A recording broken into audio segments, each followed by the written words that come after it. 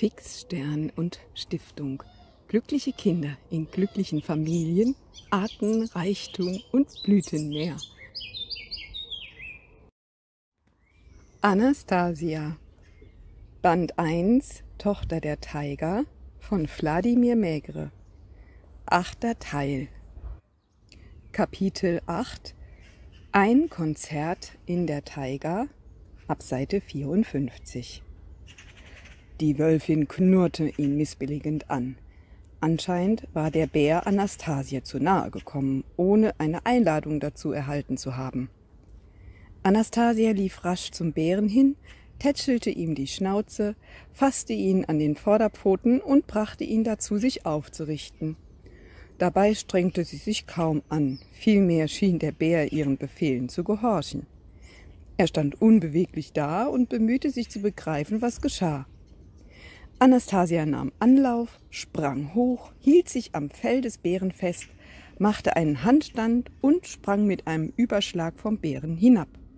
Dann ergriff sie seine Pfote, bückte sich und zog dabei den Bären über sich herüber. Es sah aus, als würfe sie ihn über sich. Dieser Trick wäre nicht möglich gewesen, hätte der Bär nicht von sich aus mitgemacht.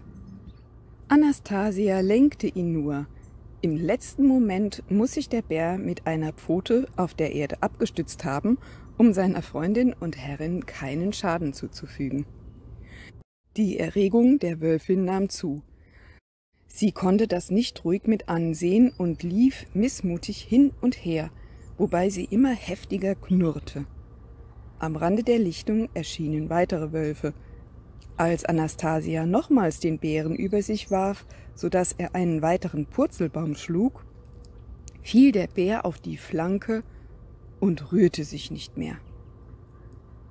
Die Wölfin fletschte mit den Zähnen und rannte mit schnellen Sätzen in seine Richtung. Doch Anastasia stellte sich ihr blitzschnell in den Weg. Die Wölfin bremste mit allen Vieren, überschlug sich und krachte gegen Anastasias Beine.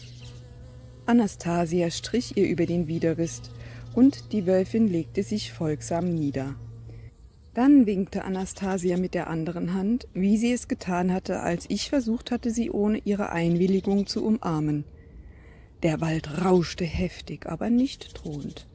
Die gleiche Erregung konnte man auch bei den großen und kleinen Tieren spüren, die umherliefen, hin und her sprangen oder sich versteckten.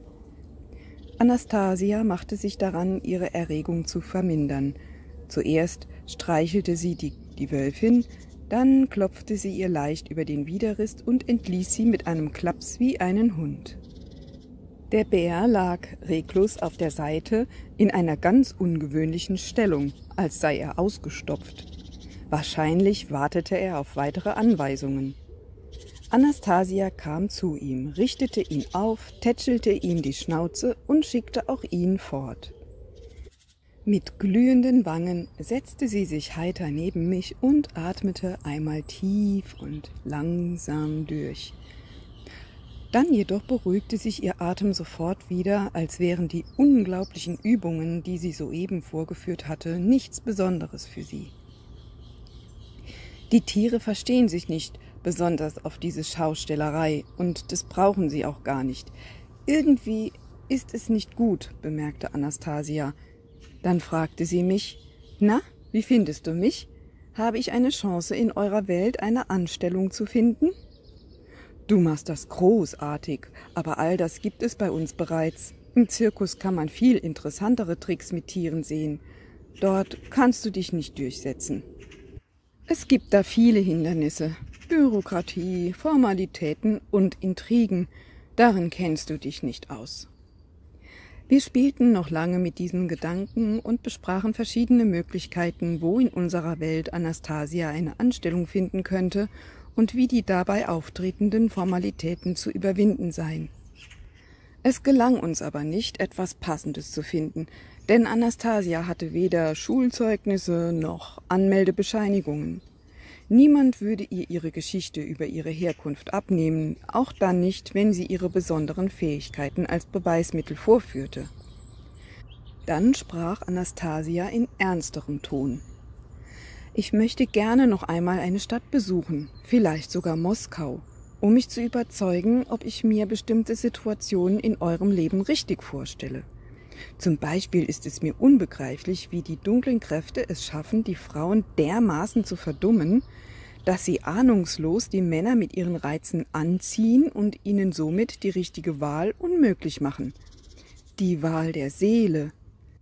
Dann müssen sie leiden, weil sie keine richtige Familie haben können, denn und wieder stellte Anastasia verblüffende, anspruchsvolle Überlegungen an, diesmal über Sex, Familie und Kindererziehung.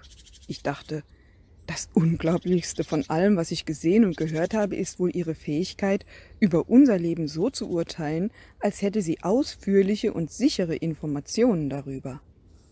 Kapitel 9 Einen neuen Stern entfachen Ich befürchtete, dass Anastasia mir auch in der zweiten Nacht eine Bären ins Bett legen könnte oder eine neue Überraschung parat hätte.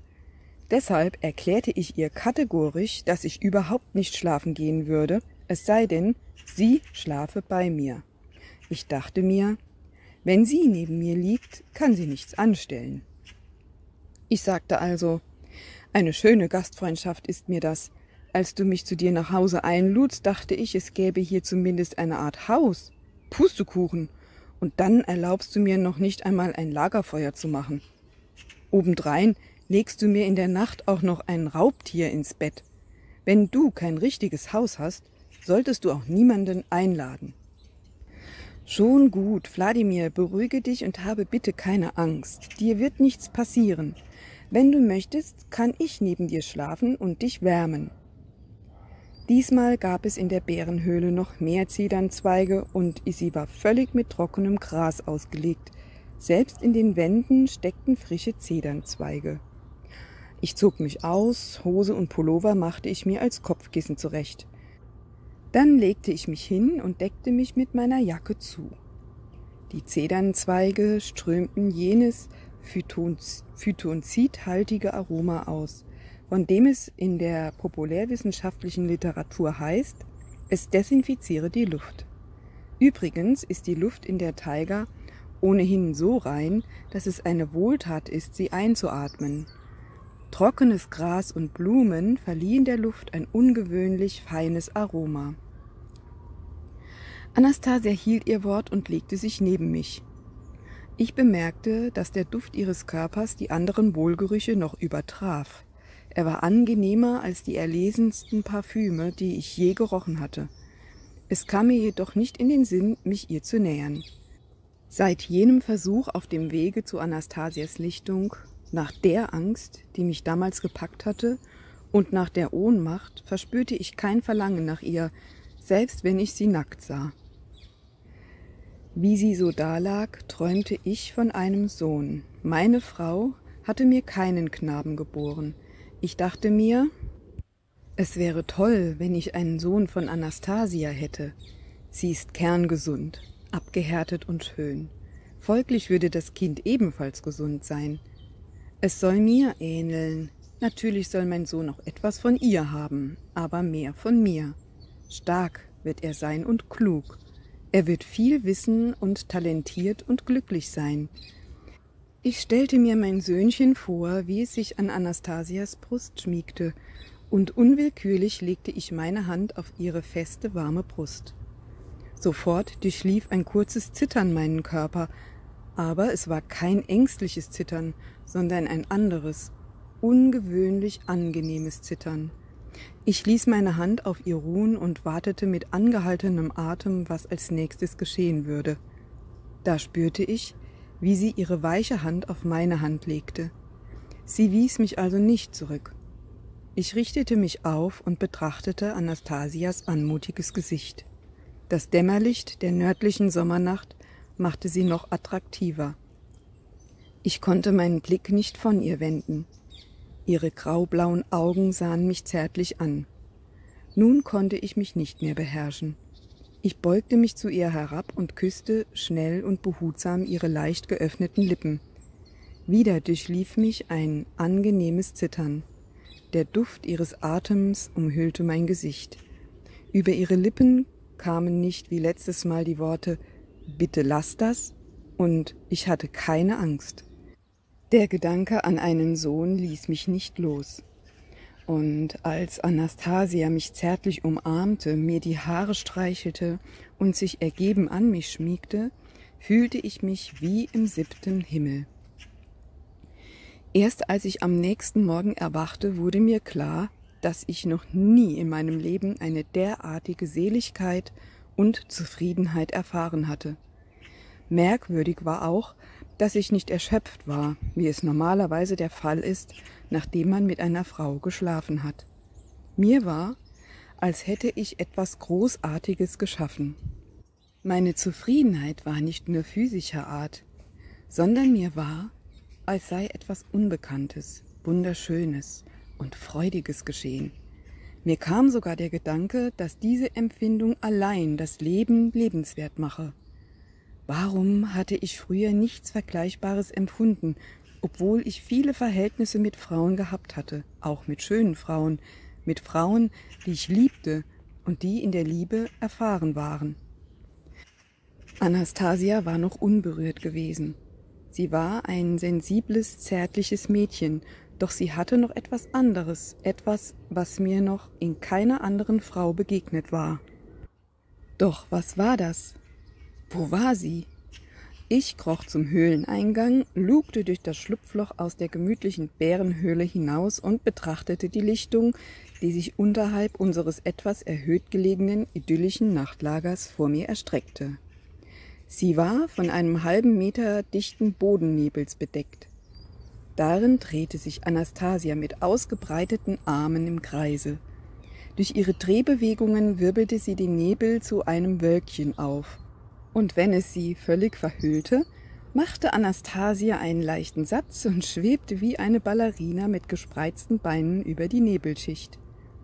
Dann ließ sie sich an einer neuen Stelle nieder, drehte sich wieder im Kreise und wirbelte lachend eine neue Wolke auf, durch die die kosenden Strahlen der aufgehenden Sonne drangen. Dieses Bild bezauberte und entzückte mich, und aus überschwänglicher Freude rief ich Anastasia. Guten Morgen, schöne Waldfee Anastasia.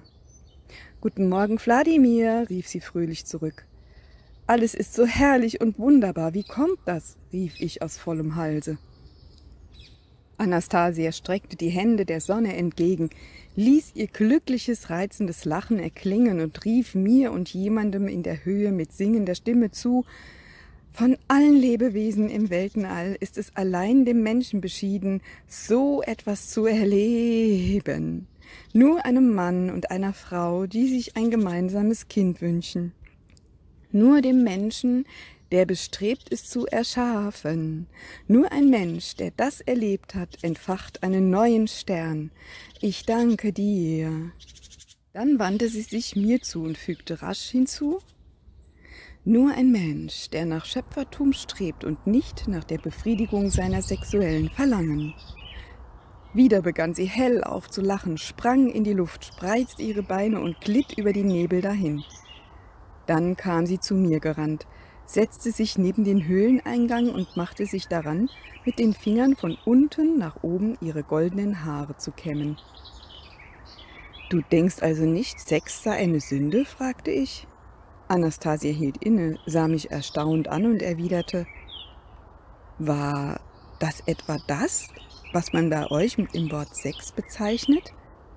Wenn nicht, was ist denn dann eine größere Sünde, sich hinzugeben, damit ein neuer Mensch zur Welt kommt, oder sich zu enthalten und damit die Geburt eines Menschen, eines richtigen Menschen zu verhindern? Ich dachte nach. In der Tat war das übliche Wort Sex eine völlig unzutreffende Bezeichnung für das nächtliche Erlebnis mit Anastasia. Aber was war es dann? Mit welchem Wort konnte man es bezeichnen? Ich fragte weiter. Warum ist so etwas weder mir noch anderen schon früher widerfahren? Sieh mal, Wladimir, die dunklen Kräfte haben es darauf abgesehen, die niedrigen Bedürfnisse des Fleisches im Menschen anzustacheln – damit er diese Gottesgabe der Seligkeit nicht erfahren kann. Mit allen möglichen Mitteln versuchen sie den Menschen davon zu überzeugen, dass er mühelos Zufriedenheit findet, indem er stets an fleischliche Freuden denkt. Auf diese Weise führen sie den Menschen weit weg von der Wahrheit. Die armen, betrogenen Frauen wissen davon nichts und leiden ihr ganzes Leben auf der Suche nach der verlorenen Glückseligkeit. Heute ist der 26. Juni 2019. Gesprochen hat die Bina Baumeister aus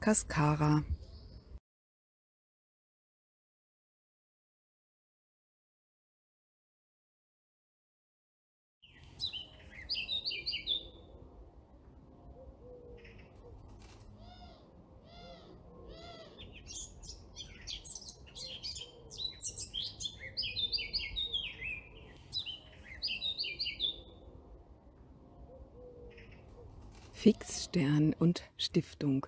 Glückliche Kinder in glücklichen Familien, Arten, Reichtum und Blüten mehr.